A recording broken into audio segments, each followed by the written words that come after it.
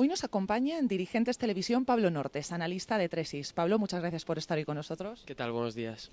Este jueves hay reunión del BCE. Todas las apuestas giran a que Mario Draghi va a comunicar esa ampliación del QE. ¿Qué opinan desde Tresis? ¿De qué manera va a ser esa ampliación? Bueno, pues ya veremos cómo, cómo, lo hace. Los últimos datos PMI de la zona euro han salido bastante buenos.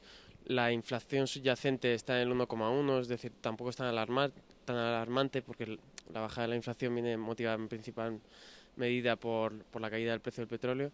Entonces, bueno, se comenta mucho sobre la posibilidad de que empiece a comprar bonos corporativos en, una proporción pues importante. Pero bueno, debemos de estar un poco atentos a, sobre todo lo que tenemos que dar es un poco de tiempo a la economía europea y, y ver cómo, cómo evolucionan los mercados. Y la pregunta del millón, esa fecha clave, el 16 de diciembre, donde la Fed ya todas las apuestas también giran a que va a comunicar esa subida de tipos. Eh, ¿Se suman ustedes desde Tresis a esas grandes apuestas? Bueno, pensamos que está un poco en la, en la obligación de, llevar a cabo esa subida de tipos, ¿no? Es un mensaje que lleva dando desde hace mucho tiempo y sobre todo lo que va a hacer es eh, restarle pues eh, esa falta de, pues, de certeza que, que, es de lo que tanto sufren los mercados. Entonces, en cierta medida pensamos que están un poco obligados por todos los comentarios que han ido haciendo hasta la fecha de hoy. ¿Y esa subida de tipos eh, será buena, aparte de buena para el mercado, será buena para la economía global? Sí, pensamos que sí, porque sobre todo lo que resta es, como te comentaba, es incertidumbre, ¿no?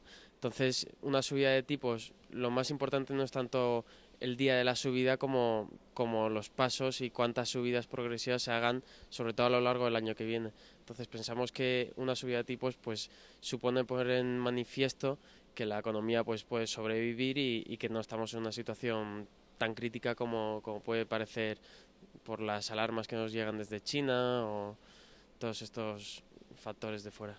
Por China le iba a preguntar eh, finalmente qué va a pasar con el gigante dormido. ¿Empieza a despertarse? ¿Vemos ya una recuperación? Bueno, veremos a ver. Los datos manufactureros también son bastante débiles desde hace mucho tiempo.